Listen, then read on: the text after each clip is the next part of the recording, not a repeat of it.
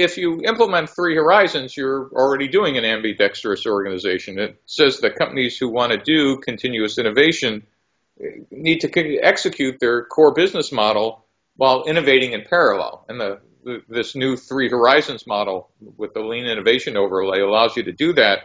Um, a non-technical word for or phrase to describe an ambidextrous organization is you need to be able to chew gum and walk at the same time.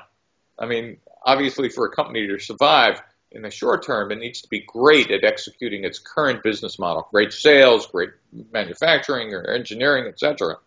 But to stay in business over the long term, you need a series of new products, new services, etc. And, and that's the chew gum part. And that that's what the phrase ambidextrous means, is that you have great leadership who could optimize profits and revenue for what you have now, but also great leadership who's thinking about what are we building in the next two, three, five, ten years. Um, that makes a company ambidextrous. And by the way, that came from the, the phrase ambidextrous organization came from two really smart business school professors, Charles O'Reilly at Stanford and Michael Tushman at Harvard.